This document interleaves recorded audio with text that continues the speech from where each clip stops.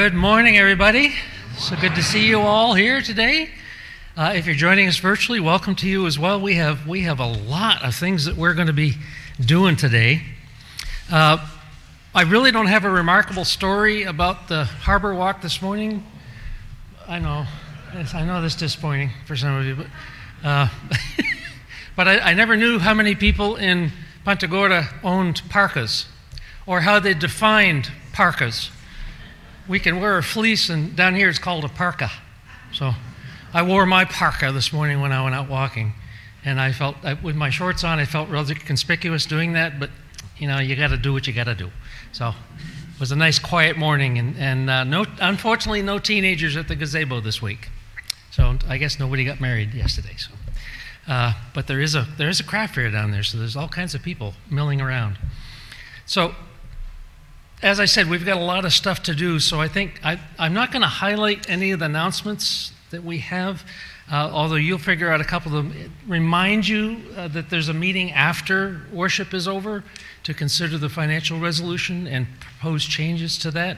So if you can, please uh, meeting and, and, offer your opinions and your suggestions. Um, but before we enter into that space, I wanted to ask, only because I know at least one, one thing, I, he's snickering at me. Why is he snickering at me?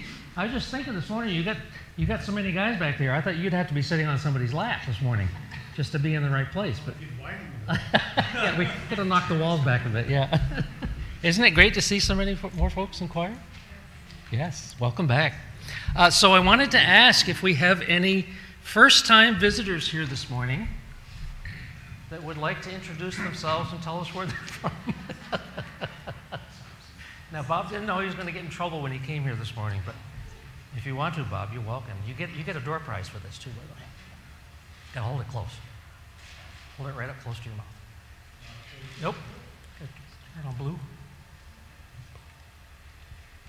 Okay. Ready, set, go.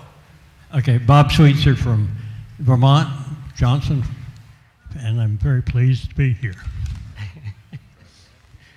Bob drove all the way down from Ruskin he allowed me to be his pastor and friend for 10 years in Vermont. And uh, so we've, we've stayed close. And, and uh, it's been a while since you've been able to come down, but uh, I'm glad you're down here.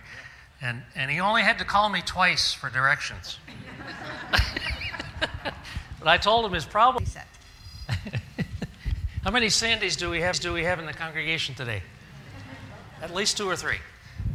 You gotta get one more. All right, one more, and I'm delaying my approach to you because we're filling a bag just be aware of what you get in that bag. You have to, to covet and guard closely, especially from David. Hi, I'm Tara Stanford. I'm from Toronto, Ontario, and we have a place in Maple Leaf. Yes, well, welcome. And I'm Tara. happy to be here. Yes, welcome, Tara. We're putting our, our greeters to work today. Oh, Bill, let it. Let oh, I didn't warn you about Bill. I should have. Anyone else visiting us today? Well, welcome. I'm glad you're here. I'm going to leave this up here because it's going to be needed in a minute. So I'm going to ask uh, Vicki McDonald to come up uh, to kick, take care of our next announcement before we do some fun stuff.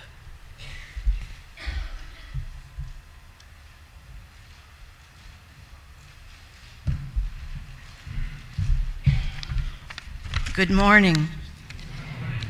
This is the call to the annual meeting. The members of the Congregational United Church of Christ in Punta Gorda, Florida, are duly summoned and called to the annual meeting of the church, which will be held on Sunday, January 22nd, 2023, following morning worship service, approximately 11 o'clock. Article 1, the annual meeting. Duly submitted, Vicki McDonald, church clerk. I bet you didn't know when you came here this morning you were going to be issued a summons. Probably some of you may have experienced that before, but uh, it's a very special thing we get to do. Once a year, only once a year, we have an annual meeting, so that's, uh, that's a good thing. A moment ago, we're going to get to do some fun stuff, so I'd like to talk, call Bill Tucker up front and center.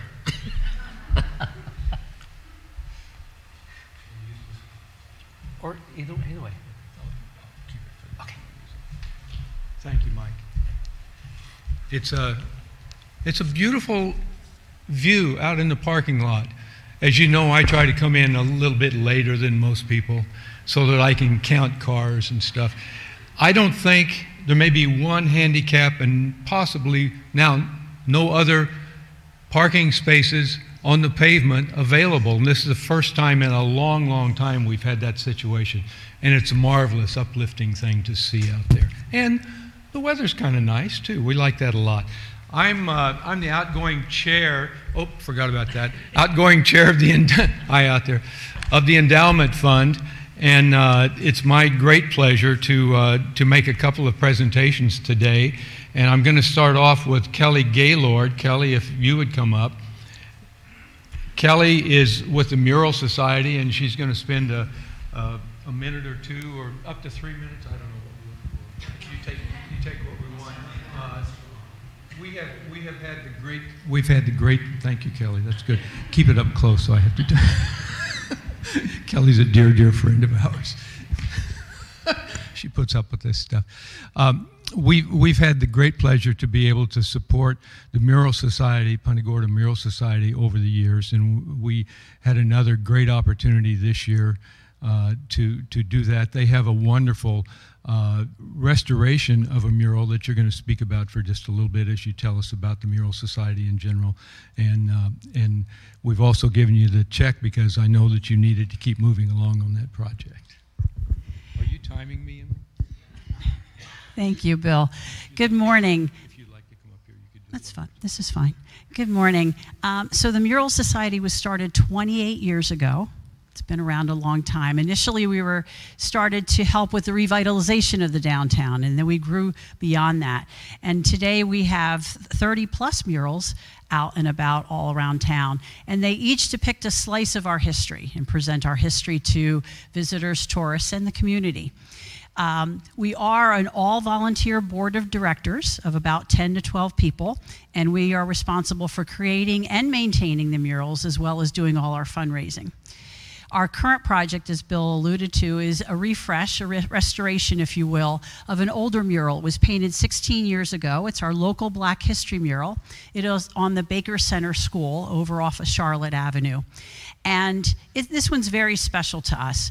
Um, it was painted, as I mentioned, 16 years ago, and its design was less than desirable. It kind of is like a figure and name type of design, just a bunch of people with names. It doesn't really tell you what's going on, and it doesn't really encourage you to come and learn more. So we decided three years ago that this was going to be our project. It was very important to upgrade that mural uh, give it a brush, fresh new design that would draw the viewer in, that would help tell the story much better, as well as improve the artistic quality of the mural um, and bring it up to our current standards. And this really um, is important because it signifies the importance of a mural. If it's good quality and it tells a story, it really shows people that that history is important. Um, our local black history is something that is not taught in our local schools in the, when they talk about local history uh, curriculum, which is unfortunate. So it's really up to us to tell that story. This particular mural is on a great location. It's on the Baker Center School, but it's also within walking distance of three other schools. So we really see this as a future educational tool for our teachers, and we hope that they'll take advantage of that. We know one history teacher is already planning her field trips to come and see the new mural. So uh, we started the project about three years ago. We started fundraising last year, and the community, once again, has been extremely generous. We're very blessed with the generosity of the community. And with your contribution, we were able to reach our goal. And our artists started painting the, the mural, the mural on panels, if you will, uh, last fall and when we reached a certain level of our fundraising, and now he is in the process of completing those panels. The installation will occur the first week of February, so if you're around, you can stop by. He will be here an entire week installing the mural and finishing it. And our dedication is February 25th, Saturday at 10 a.m. We hope you can all join us. It's going to be a special dedication because we have members of the black community that are going to be involved in the, in the actual dedication. Um, and these people have personal ties to the history that's in the mural. So it'll be very special to hear their stories. So we hope you can all join us. And again, it's through the generosity of organizations like you that we're able to preserve our history and present it to, to all. So thank you. Thank you, Kelly.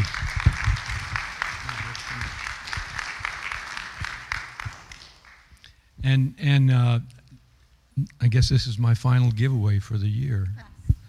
Oh, oh, good. I like that. Good. This is this is the check. I'll just do this, and I'm going to turn it over. Uh, everyone knows Emily Klossner, of course, and and most of you are aware that every year uh, we try to scrape together a little something to uh, to give uh, to the giving tree uh, that Emily at least is our face from the school system. And, and this is really a personal, almost a personal project of yours. Close enough. Yeah. oh, the bad girl. That's what it is. Okay, I'm done. Emily Claus. Hi, good morning. Um, I have with me May, who is our school social worker. I promised her she wouldn't have to off the cuff speak today, um, which she was thankful. so uh, we just want to say thank you to the congregation for everybody who donated this year, especially with Hurricane Ian. Um, services are provided for anybody who is not in their own home. So we know this year, especially, there was a lot of students who are sleeping at a relative's house or had to find temporary ho- housing. So all of those students this year are considered homeless. So the need is even greater um, this year than in years past. So we do appreciate it. Uh, May will be happy, I'm sure, to talk to you afterwards individually and kind of tell you some of the stories of the kids getting the cards. She was able to hand out what you donated before Christmas um, in our last couple days before break, and then now we'll be able to provide even more for the rest of the year and into as long as they last. So thank you very much. Yeah.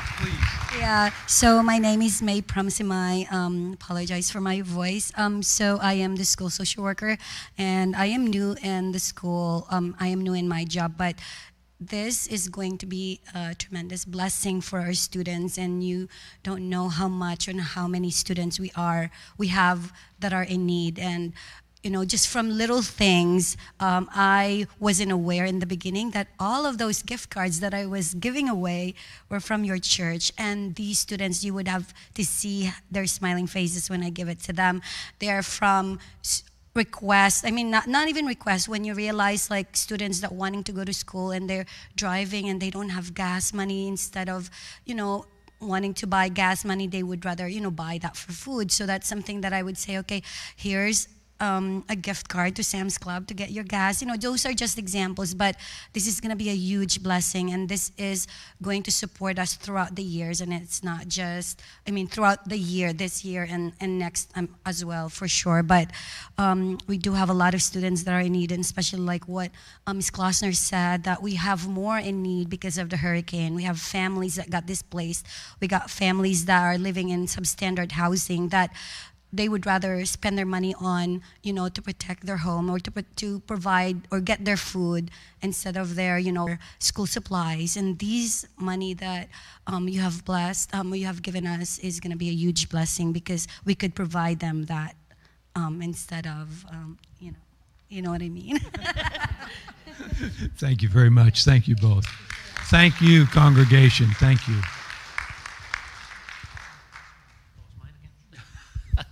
Thank you, Bill.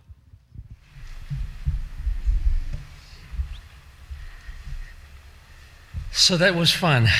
Let us continue our praise and worship of God.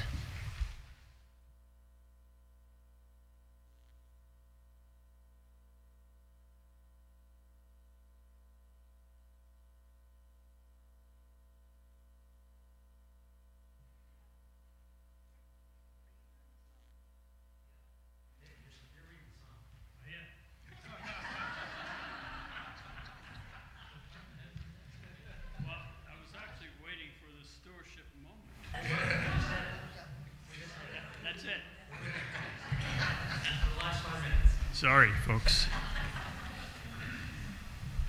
Psalm 29, a psalm of David. Ascribe to the Lord, you heavenly beings, ascribe to Ascribe to the Lord the glory due his name. Worship the Lord in the splendor of his holiness. The voice of the Lord is over the waters, the God of glory thunders. The Lord thunders over mighty waters. The voice of the Lord is powerful. The voice of the Lord is majestic. The voice of the Lord breaks the cedars. The Lord breaks in pieces the cedars of Lebanon. He makes Lebanon leap like a calf, Sirion like a young wild ox. The voice of the Lord strikes with flashes of lightning. The voice of the Lord shakes the desert. The Lord shakes the desert of Kadesh. The voice of the Lord twists the oaks and strips the forest bare. And in his temple all cry, Glory. The Lord sits enthroned over the flood. The Lord is enthroned as king forever. The Lord gives strength to his people. The Lord blesses his people with peace.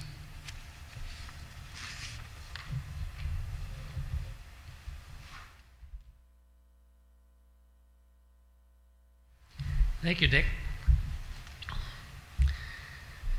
So I had a moment of flashback during the reading of that psalm, reminded of a different storm that's described differently than how God's storm is and the strength of God's voice.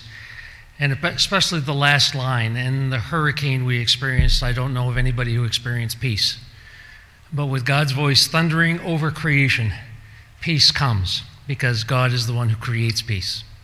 So for a moment, until you hear the doorbell ring, you have please the opportunity to wander about the sanctuary and greet each other with the peace of Christ and remember where you are when the bell rings.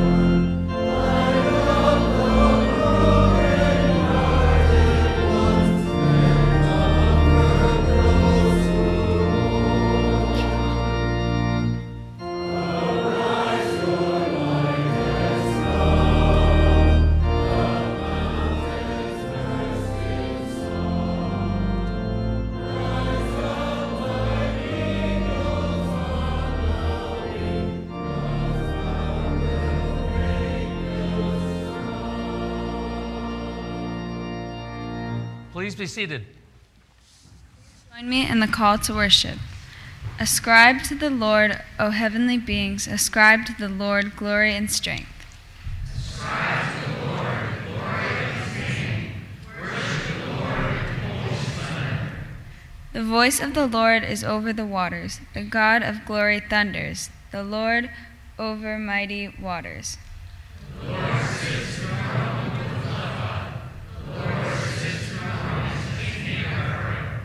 May the Lord give strength to his people. May the Lord bless his people with peace. Please join me in the unison prayer.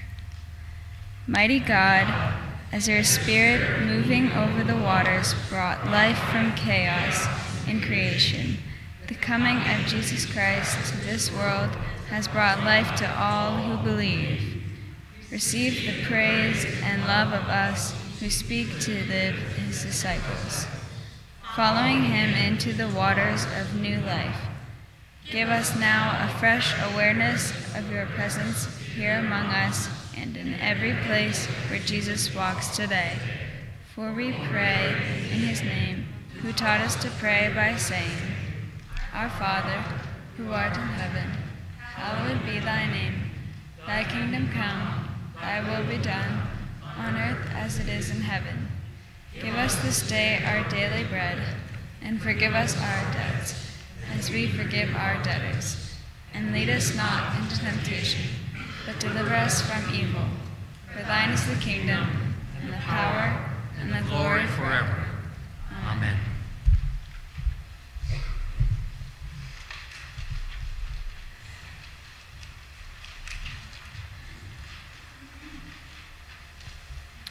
We hear the story of Jesus again giving himself more deeply into our lives through baptism and the opening of heaven's blessing upon him as he offered his life to God in prayer. Together, we who have heard the call to follow him in baptism are also offering ourselves to the world and opening ourselves to God's blessing every time we give of ourselves more deeply to others. Through our tithes and offerings, as we approach the table of Christ's self giving, we renew our baptismal vows and affirm God's reign in our own lives as standards of God's gifts. Come, let us bring our lives before God in the gifts we bring this day. Your offerings will now be received.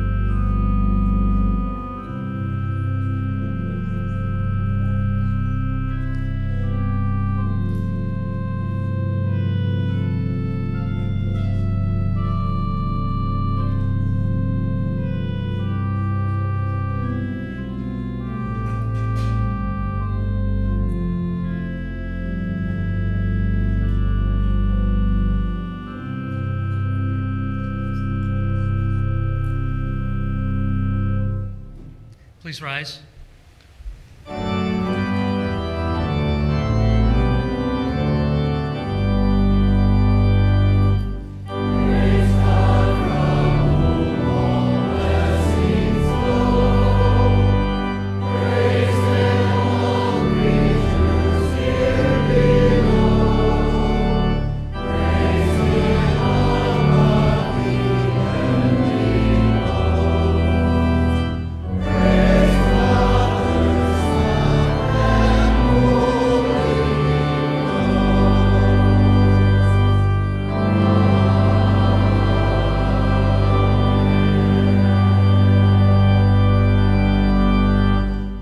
Let us together dedicate our offerings. Thank you, God of love, for the promise of this season. We are grateful for the generosity aroused in us by Christ's coming into the world. May these gifts represent a new spirit of joyous sharing among us for the sake of all your children everywhere. Amen. Please be seated.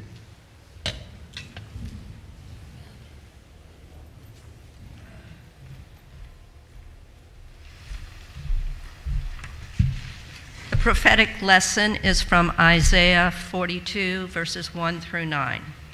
Behold, my servant, whom I uphold, my chosen, in whom my soul delights. I have put my spirit upon him. He will bring forth justice to the nations. He will not cry or lift up his voice or make it heard in the street. A bruised reed he will not break, and a dimly burning wick he will not quench. He will faithfully bring forth justice. He will not fail or be discouraged till he has established justice in the earth, and the coastlands wait for his law. Thus says God the Lord, who created the heavens and stretched them out, who spread forth the earth and what comes from it, who gives breath to the people upon it and spirit to those who walk in it. I am the Lord. I have called you in righteousness. I have taken you by the hand and kept you. I have given you as a covenant to the people, a light to the nations, to open the eyes that are blind, to bring out the prisoners from the dungeon, from the prison those who sit in darkness. I am the Lord, that is my name. My glory I give to no other, nor my praise to graven images. Behold, the lower thing, the former things have come to pass, and new things I now declare. Before they spring forth, I tell you of them.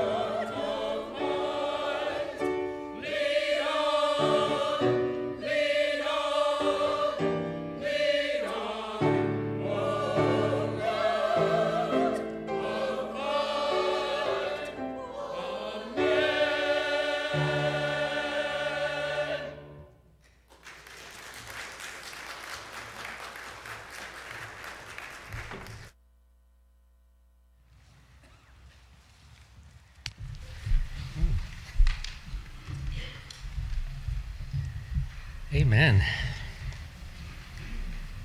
I noticed it took two, two uh, signs to get them to sit down after that one.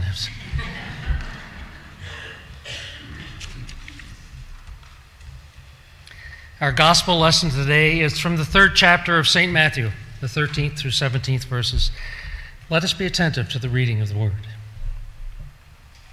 Then Jesus came from Galilee to John at the Jordan to be baptized by him. John would have prevented him, saying, I need to be baptized by you, and do you come to me? But Jesus answered him, Let it be so now, for it is proper for us in this way to fulfill all righteousness. Then John consented.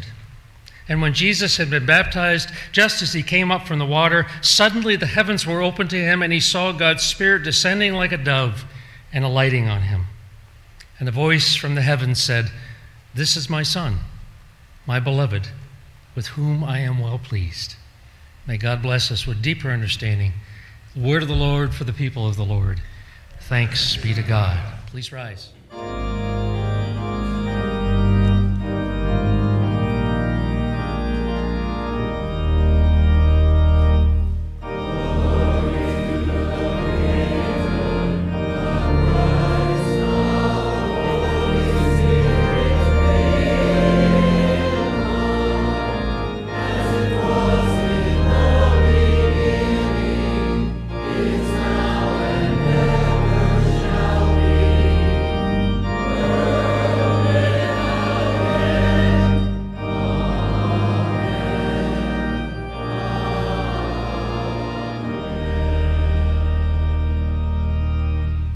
Please be seated.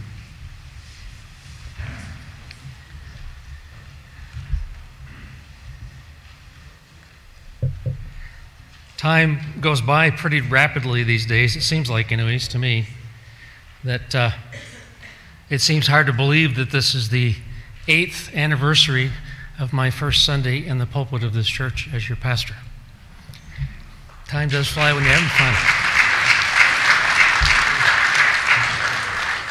Happens to be on the 8th of January, too. That's pretty cool.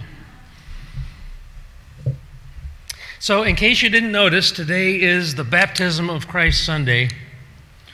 And I, oh, I heard somebody groan. I'm not sure why, but whenever these special days arise in the church calendar, sometimes it's okay to ask why.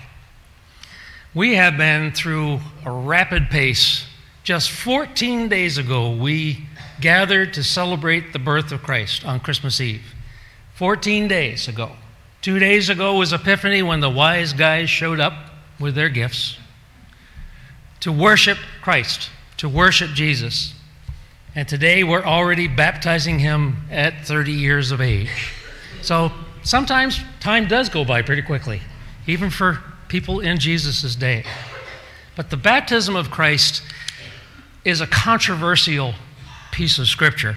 Now, the important thing to remember is that all three of the synoptic gospels include the story of the baptism of Christ, and John, in his gospel, alludes to the baptism of Jesus. So it's a sign to me, if not all of us, that probably it's a pretty important story.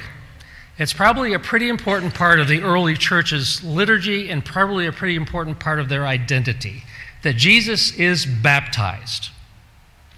Now, the controversy comes around when we ask the question, why was Jesus baptized? Because earlier in the Gospel of Matthew, John the Baptist, the baptizer, appears in the wilderness calling people to repent and to be baptized for the forgiveness of sins, which creates the problem for today. Because most everybody will say that Jesus was without sin. Why would he come to seek baptism from John if it was for repentance and the forgiveness of sins? So that creates controversy. Now, I think wonderfully we don't have a full description of the baptism of Jesus because that was left up to us to imagine what that was like. And you can imagine, too, that it creates controversy between traditions. You can have all the way from a sprinkling, almost like a spritzer, spritzer bottle sprinkled on somebody, to full immersion underwater. You can have infants baptized and only adults baptized. No matter what we choose to do, what the churches have chosen to do over their course of time, it's been because of their own decision, not because of what they find in this scripture from Matthew. Sometimes I look at these passages and say, if there had been just a little more explanation, maybe we would know the one way instead of claiming for ourselves that we already know it when it isn't described for us. That's one thing the church has done over the centuries is separated itself from one another in these ways. Now, the United Church of Christ, what I am ordained into, has two sacramental offerings. One is baptism, and one is the Eucharist or communion. I kind of like only having two because I don't have to learn a lot more about more. But having two became important to me when I was in seminary because I suddenly realized that if I don't take seriously baptism and the Eucharist, how is anyone else going to take it seriously? Now, that's not to say you can't have a little fun as a pastor when it comes to baptism, because I will ask what the traditions are that the person was raised in. In the course of the 27 years that I've been a pastor, I have never fully immersed anyone because that wasn't their experience. Had they asked for it, I would have tried. It would have been interesting for the person being baptized, having a, a, a rookie trying to do it, when, when do I bring them up? At what point do I take them out of the water again? Am I waiting too long? Am I not waiting enough? Are they thrashing about a bit and telling me what the hint is? But you can have fun. That's one thing I realized. Uh, I'm still amazed to this day, and have been since the day of my ordination, that I'm allowed to do this. That I'm allowed to baptize adults or children, that I'm allowed to serve communion as a pastor in the church because it is so filled with meaning and emotion and tradition. I have to be really careful what I'm treading on when I do it. When I served in New England, I, every summer in the middle week, now you know there's 13 weeks of summer when you're in New England. And the middle week, the seventh week, is always when we had our, our uh, lakeside barbecue or potluck meal, and I would throw in an affirmation of baptism for people. Now, you could watch people getting ready for that because they would look at the temperature every day and say, okay, it's only been in the mid 50s from June until the beginning of July. Or it's been in the 90s from April till July. They were gauging just what that water was going to feel like if they chose to have their baptism affirmed. Now, I would cheat. I gotta let you know, I would cheat, and I would do something subversive. I would go down to the lake and I'd take a bowl full of water and I'd bring it back up to where we were celebrating our worship service, because we always had worship before the meal. And as part of the service, I would consecrate that water, make it for holy purpose, and not just a dip out of the lake, or not just a dip in the lake. And then here's where I got sneaky, because when it came time to affirm people's baptism that wanted to go into the water, or it into the lake. Nobody around that lake that had a summer camp knew that they were swimming in sacred water from that point on. We consecrated the lake every single year for 19 years. Now, the tricky part was this is where people were doing the calculations is that I would ask anybody who wants to come down and have their baptism affirmed, follow me. And I'd have my suit on with my collar and my coat, and I would wade out into waist deep water, inviting everybody to come. And this is where they really either regretted or really liked what they were about to do. They didn't see that I had behind my back a bowl that would hold two gallons of water. So I would come out of the water, and it was the same seven people every year that followed me out into that water. Everybody else, and Bob was one of them, would sit on the shore and watch these crazy people wade into water that was either freezing or the air was freezing and the water felt good. See, that's what I realized after a course of time that it was a lot like birth. That when they went into that water and the water was colder than the air, it was like the shock of being born. Coming out of this warm, wet place and finally coming into these bright lights and hearing loud voices. And in a lot of cases, I know it was true when I was born, there was a smack on the butt to get you going. Start your life with pain. Isn't that the way it's supposed to go? And the pain of that cold water it was either like the shock of being born, or when the water was just right and the air was just right, when that water was poured over them, it was like being back in the womb. That safe, comfortable, warm place. And every single person, including myself, and that was the part of the part of what enticed a couple people into the water is that they got to pour water over me when I was done pouring water over them. We were all drenched to the skin. We were all laughing and joking and crying because in an instant, all of that meaning came tumbling down onto our shoulders. It would not have had meaning if it wasn't for today. If it wasn't for how we have Jesus' baptism, his own baptism, described to us, even in its incomplete description, it means something. It means a lot. I've baptized more adults than I have children. And I didn't think that would be true when I entered ministry. Now, one of the things that I learned in seminary, and it shocked me and it angered me in the same moment, one of the teachers that was teaching us the history of the church said that when, in the first century, when Christianity began to really get rolling and baptism was a part of their life, someone had to go through three years of instructions before they were allowed to be baptized into the Christian church. For those three years, you studied Scripture, you listened to wise people talk to you, and you were not allowed to partake of communion for three years until you were baptized. That's a commitment, folks. That's where a lot of the understanding I think we come from. What, why it's a different meaning for adults than it is for children to be baptized. My two boys were baptized. Kelly and I and our godparents took vows that day to live up to that when infants are baptized, it's the parents and those around them, those in their own faith community, that are supposed to teach them what it means, who Jesus is, what it means to be a disciple of Jesus Christ, and how important that is. And later on in life, they'll be asked to make a choice if they want to affirm that baptism, become members of a community of faith. Remember what I just said for next week. Anyway, so there was, there, was, there was gatekeeping for the Christian community, and that's what angered me. I said, why would anyone have to go through that in order to be baptized? Because it was one of the sacraments of the church, and they took it seriously, just like we do today. I remember one time in particular, and I'm not sure, I, I think I held this outside of a worship service, but half the church was there, anyways, when I baptized a child, Ronan who uh, his mother was of the Unitarian, father was Lutheran.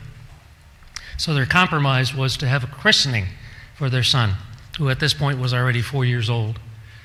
And so I said, We're going to have a blast when we do this. So when they came into the sanctuary, I had a big blue tarp laid out on the floor. If that wasn't a clue to them, for them to run away, they weren't going to get it. But I had a big blue tarp and I had a big bowl of water sit on top of the, the baptismal font. And I told everybody before they came forward, I said, I'm here to baptize Ronan, but we're all going to get baptized today. Not a one of you is going to leave here dry. Because we get to participate in the baptism of others in our own way, to remember our own baptisms, to affirm what we know about Jesus and why it's important to us to be baptized. Ronan had no clue as to what was going to go on. He got baptized. They took both hands and poured water over his head, and he laughed. I didn't have to guess if he knew what it meant. But then each one of the people who came to accompany that baptism or that, that, that christening, that dedication, each one of them came forward and stood in front of me and were glad to have water poured over their heads. Even the 85 year old grandparents. They had no clue what they were getting into when they came. Baptism should be a celebration and it should be memorable. Some of us were baptized as babies, some of us were baptized as adults. We all still probably have listened to those stories of our own baptism or remember them for ourselves. And that day as to what it meant when that water was poured or sprinkled or we were dunked, that when we came out, we came out to new life. So, why was Jesus baptized? We'll come back to that topic. Jesus explains it because John, in the Gospel of Matthew, questions him. He was going to stop, prevent Jesus from being baptized because John already knew that Jesus didn't need it. But it turned out that Jesus wanted it.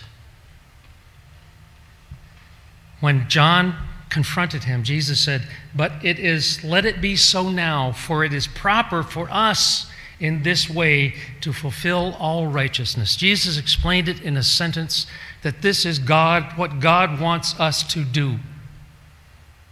See, baptism is about submission to God's will. It's about joining a family of God's family. It's about becoming a child of God, offspring of the Holy One. In that moment, we don't do anything, God does all the work. I may get to sprinkle water over somebody's head, or you may get to have it sprinkled over yours, but it's God who's doing all the work. We may not see a dove light on our shoulder. We may not hear a voice from heaven, but it surely is there. Your baptism, I want you to know, when you experience your baptism, either as an adult or a baby, there was a voice whispering in your parents' ear, your godparents' ear, or yours. This is my child, my beloved, with whom I am well pleased. Jesus made a choice. John was forced to make a choice, but Jesus chose to be baptized like you and I, and we like him. To be blessed to become a child of God on that day, to have the heavens open before us and the Spirit of God descending upon us and alighting on us, and a voice calling us beloved.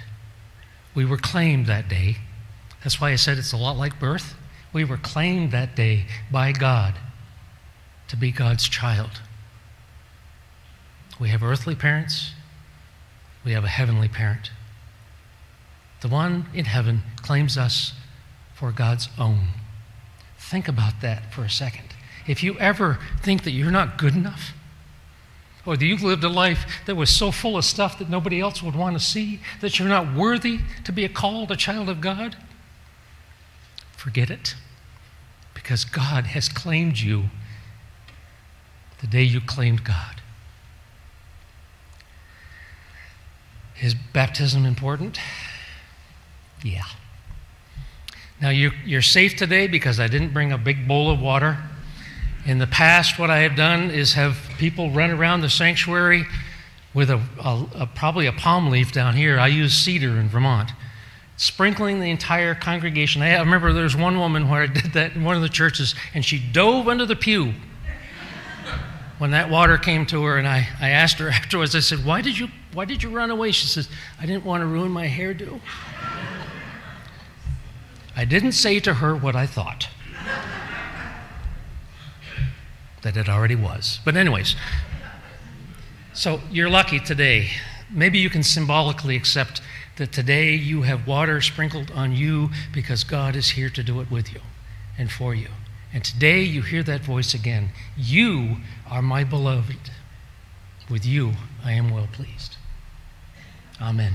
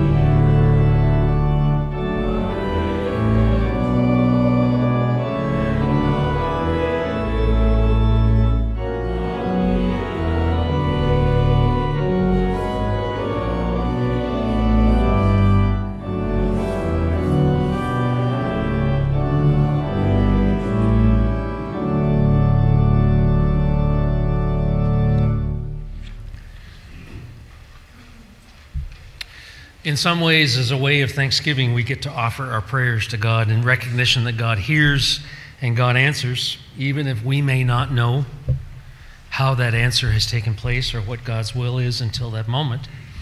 But we ask if there are prayers that haven't been included, and I'll read them to us. That we have some we've been praying for for a very long time for Marjorie and Dick, and those around the world who are treated to injustice, severe weather events, people of the of Ukraine, for Stacy, for the continuing victims of Ian, Hurricane Ian, for Diane and her treatments and recovery, and for Kathy Ann for her diagnosis and prognosis. For Carolyn, who continues to improve but is still homebound in many ways. For Ron, who has a continuing frustration with how to deal with surgeries that need to happen and being free of infections to allow those to happen. Uh, Jerry, I think you're doing pretty well, so we can probably put you in our in our joy section. Um, and, and Cindy, who continues to uh, to struggle a bit. Jim Jagood, who continues to improve. I suspect, I don't know this to be the truth, so just take it for what it's worth, that, that Jim probably has a hard time um, following orders on how to recover.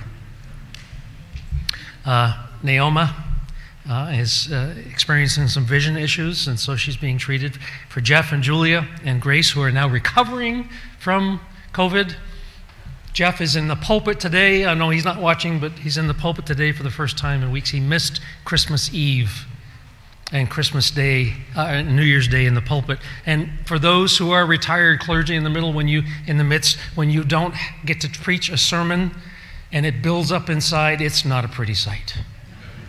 Because you tend to preach a 30 minute sermon when you come back the first time. So uh, for Jeff and Julia and Grace, who are all doing well.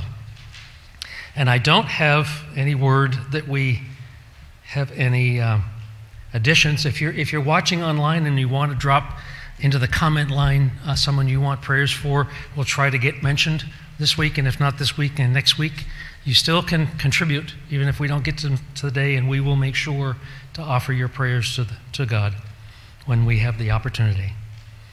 So, what we get to do in hearing of those names and those situations is to take them on as our own for the time of prayer.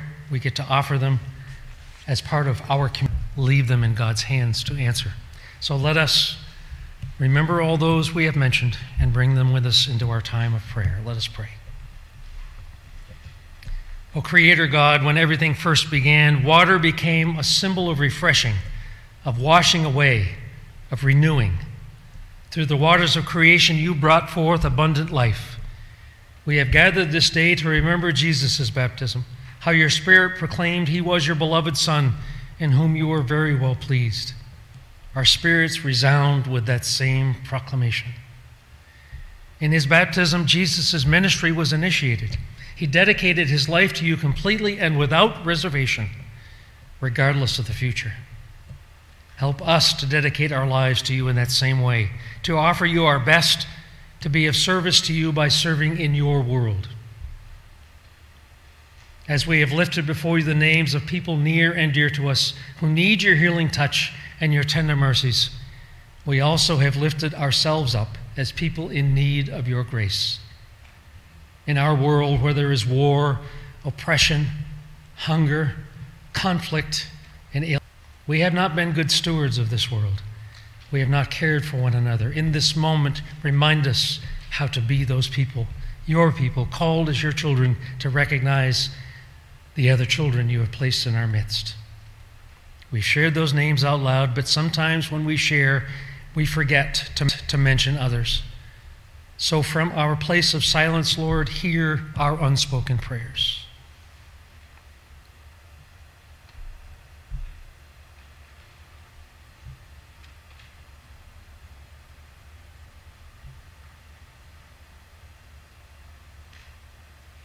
Heal us in this world, O Lord. Renew us with your life giving waters and reaffirm our baptisms as your children. Let us go forth to be people of peace and mercy. For we ask all of this in the name of Jesus the Christ. Amen. Please rise.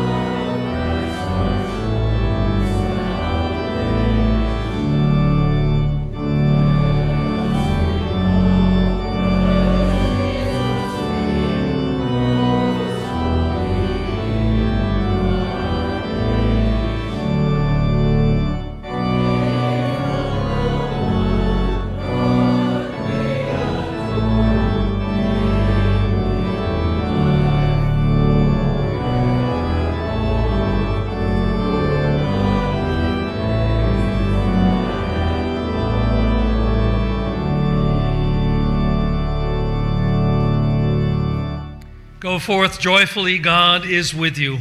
Bring peace and hope to all you meet, and may God's eternal love shine through you always. Amen.